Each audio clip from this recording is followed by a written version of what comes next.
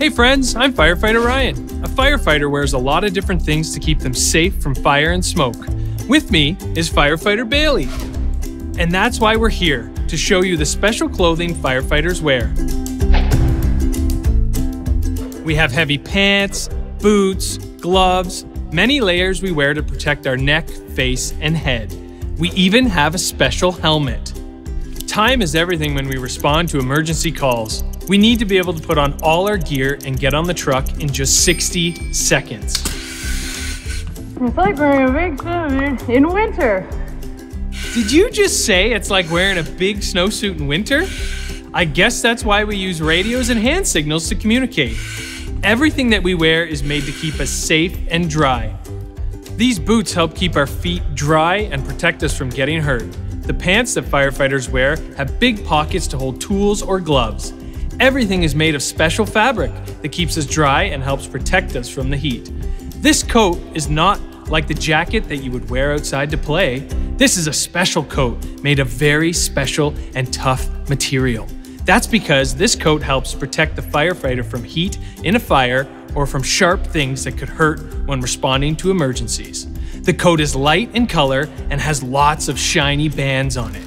Just like the reflectors on your bike, a firefighter wants to be seen if it's dark or through heavy smoke. We even have our names on our jackets so we know exactly who is who. This is our special backpack.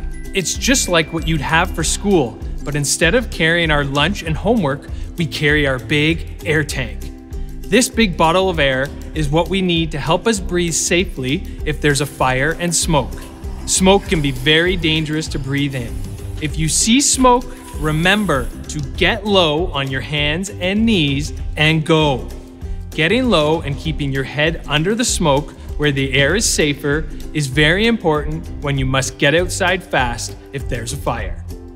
This is called a balaclava. It protects your head, ears, and hair from the heat and fire, and a mask to protect our faces. This helmet has a shield at the front that helps protect my face, and this part that sticks out at the back helps to protect our neck. Finally, gloves. They protect our hands from anything sharp or hot.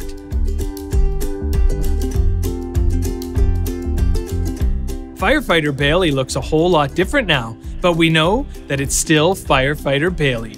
Even though firefighters look and sound a lot different, we know it's our firefighter friend and they could be coming to help us. Firefighters can sometimes look different with their big pants, boots, helmet, and mask on. But even though they sometimes look different, remember Firefighters are your friends and are always here to help, so don't hide. We need your help. just like firefighters, you have a very important job to do when there is a fire in your home. When you hear your smoke alarm, your job is to get out of the house quickly and safely and to stay outside with your family until the fire department gets there. You should have an escape plan with two ways out of every room and a safe meeting place outside. Practice it with your family so everyone knows the plan and is prepared if there's an emergency.